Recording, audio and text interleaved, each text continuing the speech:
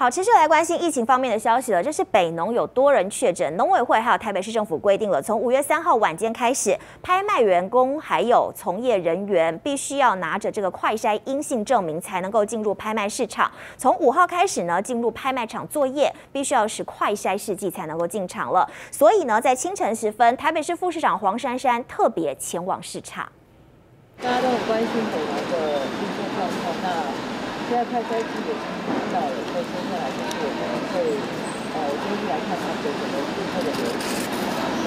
我们是台北现在这样基本上完全把它做正常一那看起来现在因为我们对设立的所谓的安全措施啊，就是加入了好多的呃打疫苗，打疫苗完了以后还要再做，拿到就是的把快筛机再缴回来。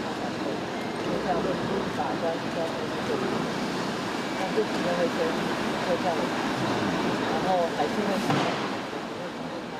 能够有一天好像去，大家做这样，这样才能做到这个。实名制的快筛上个月底上路，到现在已经将近一周的时间了。但是来看到，在各大药局都还是大排长龙，很多民众还是买不到快筛剂。特别是疫情比较严重的北北基桃重灾区，名媛四起，现在就连民进党自家人都看不下去了。昨天不但基隆市长林佑昌抱怨中央征用没有事先沟通，民进党的双北民代也开了第一枪，质疑民众有购买需求却买不到，显见这个配送。铺货政策是大有问题的。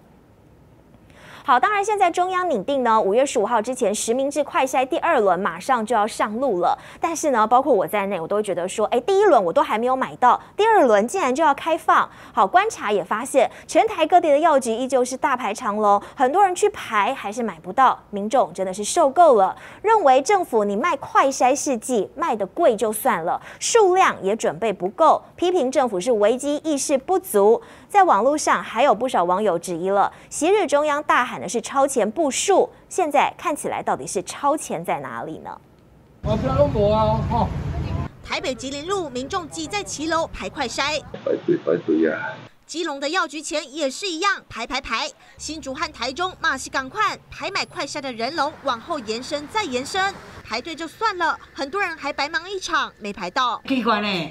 啊，这遮贵吼，啊，政府嘛袂晓讲吼，啊，就会当较俗一多无？啊，佫买无？哦，我感觉这政府实在，哦，我看他生气尔啦，啊，但是气嘛无得讲啦。政府他也在赚钱呐，人家网络上不是说吗？才四五十块的成本卖一百。许多民众不满，疫情已经两年多，从口罩之乱、酒精之乱，接着抢疫苗，现在又抢快筛。网络上有人讽刺，昔日政府总说超前部署，如今超前部署在哪？危机意识。不太够了。你去年五月已经第一次了，好像要第二次的时候，要赶快去准备这一些东西，有了吗？嗯，经过了很多的时间，可是还是没有准备好那个数量。民众质疑究竟超前在哪？另外，中央拟定五月十五前实名制快筛第二轮上路，也遭痛批。明明第一轮很多人还没买到，第二轮居然就要开放，民众无奈积怨，除了气还是气。记者综合报道。接下来呢，我们来掌握的是警政署长陈家清，他四号因为感到身体不舒服，出现了感冒症状，经过快筛之后呈现了阳性，晚间他的 PCR 结果出炉了，也是阳性确诊。目前呢，警政署的业务暂时是交由副署长还有主任秘书共同来代理。根据了解，原本陈家清呢会到立法院的内政委员会处理审查有关内政部还有所属预算冻结书面报告一案，现在呢也全面改成由副署长刘伯良来。代理了，还要来关心的是，在高雄有一名确诊的父亲，因为小孩出现了发烧，联络相关单位安排到了高雄的荣总进行筛检。好，没有想到却让这个爸爸很火大，因为他说一等就是六小时，小孩躺在地板上，看起来非常的虚弱，还抱怨医院没有做好分流处理。好，不过这个抱怨文一出之后，反而是遭到了网友狂酸，只是轻症筛完就快点回家居隔吧。但是呢，后来在卫生局了解之后，说明是父子两人筛完之后不愿意离开，是不是和医院的沟通出现误会呢？还要进一步了解。早十一点多一定待到晚上六点，你让一个有症状的人在外面风吹。小男童躺在地上，盖着粉红毯子，看起来相当虚弱，发高烧，全身瘫软，让陪同的爸爸超不舍，拍下儿子照片抛网，怒轰高雄荣总态度差。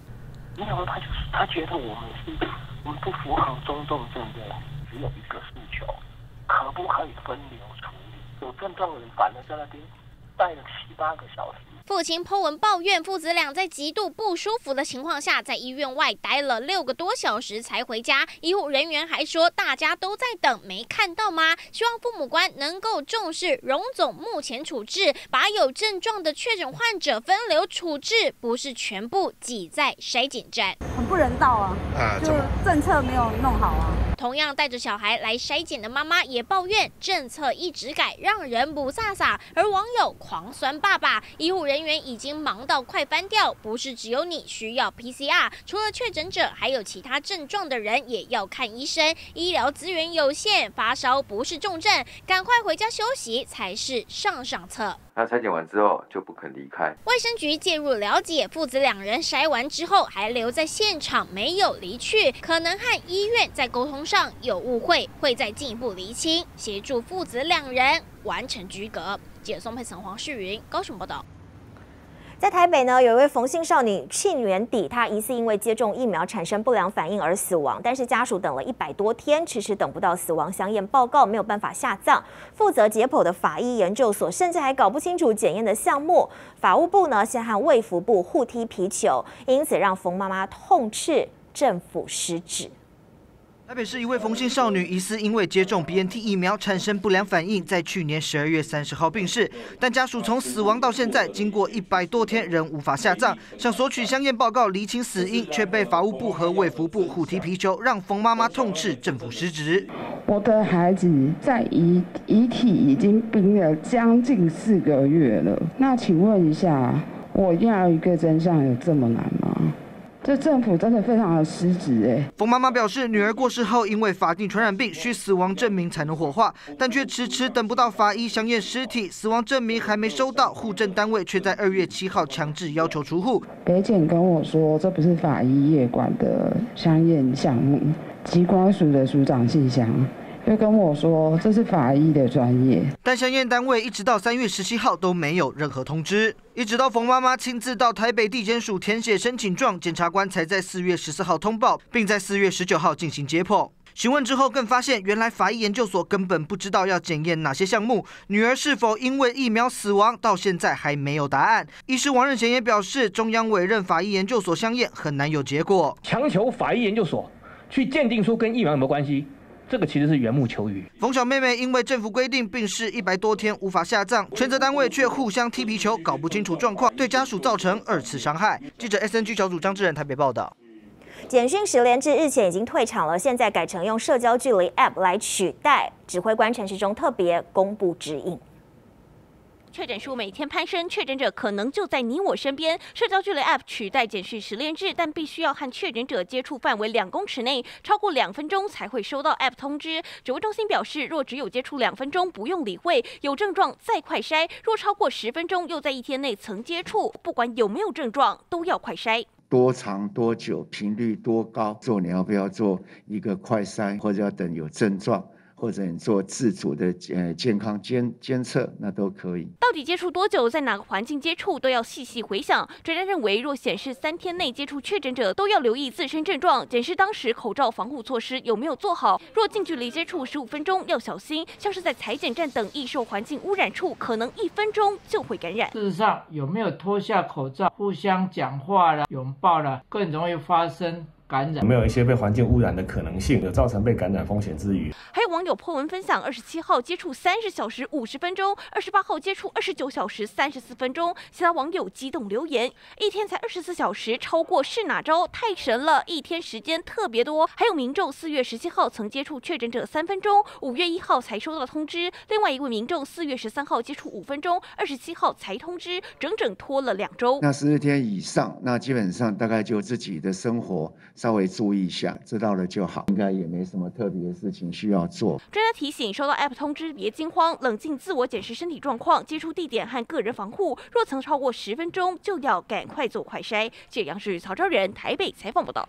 旺旺水神，还有我们现在看到这一台一直在喷烟的这个叫做旺旺水神雾化器，哪里买呢？可以到快点购的平台来购买。好，同时呢，现在中天的观众有好康哦，你上快点购买雾化器会送水神，也推荐大家输入我的推荐代码 C T I 五八八，可以有相关的折扣优惠。